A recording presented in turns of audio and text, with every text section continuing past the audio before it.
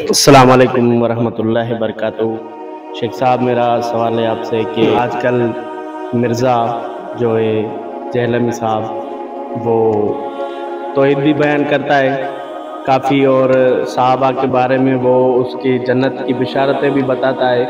उसके बाद जो है वो मसलन उनका कहता है कि ये गलत हैं साहबा सैदना अली से मुखालफत की है। सैदना हुसैन से यहाँ जंगें लड़ी हैं। तो आप इसके बारे में क्या बताएँगे हमें? कुछ बताएँ। वालेकुम सलाम वरहमतुल्लाहि वबरकातुहू भाई ने एक बहुत अच्छा सवाल किया है और जो कि ताल्लुक़ रखता है कि आप इंजीनियर मोहम्मद अली मिर्ज़ा के बारे में आप क्या कहेंगे, जिसके मौक़ात में तजाद आ चुका है। मतलब वो पहले जो है ना एक नज़रिया रखते थे और फिर दूसरा अब उसके मतलब दूसरे तरीके आ गए हैं, दूसरे मौक़ात तो इन अल्लाह ताला की तौफीक से आप जितने भी भाई बैठे हैं और यहाँ पर ये हमारा जो है ना, जो आपका भाई का सवाल है और फिर ये जो मेरा जवाब है वो भी रिकॉर्ड हो रहा है। इन ये सब भाइयों के लिए जो जो भी सुनेगा इन मैं अल्लाह की ज़ात में उम्मीद करता हूँ कि उसको तशफ़ी बख्श और एक तरह से उसके लिए फाइनल फैसला होगा ये। देखें, मैं खुद उसकी जो है ना कितनी वीडियो सुनता हूँ, क्योंकि फिर हमारी ये फ़ील्ड भी ये लोग सवाल करते हैं। अब एक होता है तजाद, ये ओलमा में होता है कि कभी कोई नज़रिया हो और कभी कोई बाद में चेंज कर लिया हो, ऐसा होता है। लेकिन ऐसे समझे कि ये सौ में से एक दो परसेंट और वो भी कोई कोई आलम, क्योंकि बाद में उसको ये मसला नज़र आता है। लेकिन कोई पेदर पे एक तसलसल चला आ रहा हो तो फिर वो हमें सिर्फ़ इस शख्स में नज़र आया है। और दूसरी बात है, कुछ लोग इसको महक़ के आलम कहते हैं। सबसे पहले आप ये बात फाइनली जान लें कि वो आलम दीन नहीं है। आलम दीन नहीं है। उसकी एक स्टडी, अपनी और चंद गिनी चुनी अहादीस वो बयान करता है। अब देखें ना, ये मैं अल्लाह ताला की ज़ात को गवाह बना के आप सबको ये बात बता रहा हूँ। उसकी मैंने एक वीडियो देखी, दो तजाद और हद दर्जे के।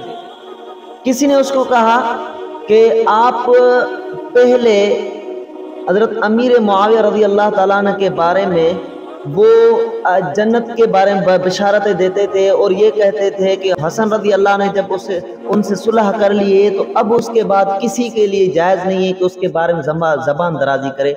इस तरह की आपकी वीडियोज़ हैं तो उसने जवाब दिया कि, असल में मुझे कुछ पता नहीं था पहले, लेकिन जैसे ही मुझे पता चलता गया तो फिर मैं बयान करता गया। अब, जब दूसरी बार से पूछा जाता है तो फिर उस वक्त उसका जवाब देखो। कहता है कि हाँ मुझे सब कुछ पता था। ऐसा नहीं कि मुझे कुछ पता नहीं था। मुझे सब कुछ पता था, लेकिन जैसे हालात साजगार हुए तो फिर मैंने बयान करना शुरू कर दिया। अब यार, तजाद होता है, लेकिन ऐसे हद दर्जे का तजाद, ये तो सराहतन हंड्रेड परसेंट झूठ है। ये तो झूठ है कि पहले कुछ पता नहीं था, कह रहा है, फिर कहता सब कुछ पता था, ये तो तजाद है। और फिर देखें, मैंने कल ही कल नहीं, बल्कि आज सुबह ही मैं उसकी एक वीडियो देख रहा था। उसमें मिर्ज़ा से सवाल किया गया कि हसन रज़ी अल्लाह तन के जनाजे पर तीर जो बरसाए गए, आप क्या कहते हैं? तो कहा कि ये सनद इसकी दुरुस्त नहीं है और ये वाक़ सही साबित नहीं। दूसरी बार जब इससे सवाल किया जाता है कि हसन रज़ी अल्लाह के जनाजे पर तीर बरसा गए तो तो उस वक्त इसका ये जवाब दे रहा है हाँ बरसाए गए। ये कोई ढकी छुपी बात है क्या? ज़ाहिर है बनु मैया दुश्मन थे, ये थे, वो थे। मैं हैरान हो गया कि यार इतना, चलो यार, हद होती है झूठ की। एकदम कह रहा कि वो तारीखी बातें, ये दुरुस्त नहीं है कि तीर चला, चलाए गए। फिर कहते हैं कि हाँ चलाए गए, ज़ाहिर बात है इससे ज़्यादा कुछ हुआ।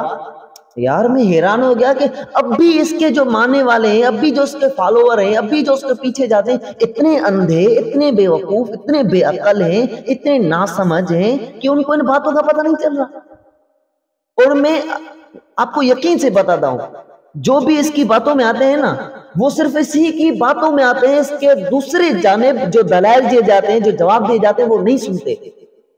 अब ये जो एतराज़ करता है टू एट वन टू हदीस टू एट वन टू हदीस टू एट वन टू हदीस इंटरनेशनल इंटरनेशनल अब ये देखो ना, जिस बात पर इसको यकीन है कि ये हदीस है तो वहाँ इंटरनेशनल भी बता देता है। लेकिन जहाँ जो बात इसको पता है कि वो सही साबित नहीं, वो इंटरनेशनल तो क्या, फिर वो कहता है कि सनदों में पढ़ने की तो ज़रूरत ही नहीं।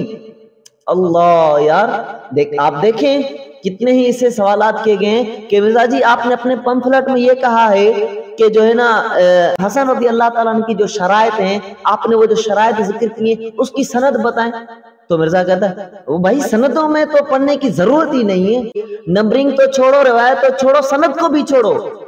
अब चूँकि रास्ता मिल रहा है ना मुआवे रबी अल्लाह तला पर बात करने के लिए तो अल्लाह के बंदो, मैं फाइनली ये मैसेज दूँगा उन लोगों को जो मिर्ज़ा के पीछे जा रहे हैं, उसकी बातों में आ रहे हैं। सबसे पहली बात तो ये कि वो आलिम दीन नहीं है। लेकिन फिर भी उसको इख्तियार है एक, जो ना इंसान आते, वो कुछ बात करे और कुछ सवाल कर सकता है। लेकिन जब सवाल करे तो फिर उलमा के जवाब सुने। ये जुल्म है, सबसे बड़ा जुल्म ये। ठीक है कोई आम बंदा भी कोई बात कर सकता है, मुताला किया कोई हदीस देखी, बयान कर सकता है सवाल के तौर पर, लेकिन उसके सवाल में फिर जब उलमा जवाब दें तो वो सुने। ये इतना जुल्म ना करें, कल कयामत के दिन अगर आपकी अल्लाह ताला ने पकड़ की तो फला अनफुसकुम तो फिर अपने आप पर मलामत करना, किसी और पर, आलम दीन पर ना भागना कि उन्होंने हमारी रहनमाई नहीं की। मैं भाई से पूछता हूँ, अगर कोई और भी सवाल हो तो भाई पूछ सकते हैं। जजाकल्ला शेख साहब।